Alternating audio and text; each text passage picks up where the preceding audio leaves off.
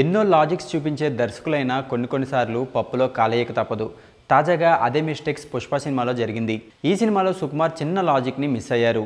ఇప్పుడు అది కాస్త ప్రేక్షకులకు దొరికిపోయింది. దాంతో సోషల్ మీడియాలో ఇంత చిన్న లాజిక్ని ఎలా మిస్ అయ్యారు సార్ అంటూ మీమ్స్ వస్తున్నాయి. ఆ చిన్న మిస్టేక్ ఏంటో ఇప్పుడు చూద్దాం. సినిమాలో అల్లర్జున్కు స్నేహితుడు కమ్ పిఏగా కేశవ అనే పాత్రలో జగదీష్ నటించాడు.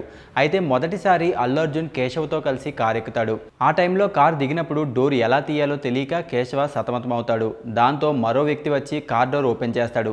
కట్ చేస్తే ఆ తర్వాత అల్లు అర్జున్కు ఐదు లక్షలు రావడంతో వెంటనే కారు కొనేస్తాడు. తనకు వచ్చిన డబ్బును కేశవకి ఇచ్చి కారు కొనుక్కొని రావాలని చెప్పి పంపిస్తాడు అల్లు అర్జున్. దాంతో ఆ డబ్బు తీసుకువెళ్ళి కేశవ కారు కొనుక్కొని డ్రైవింగ్ చేస్తూ మరీ వస్తాడు. ఇక్కడే సుకుమార్ పప్పులో కాలేశాడు.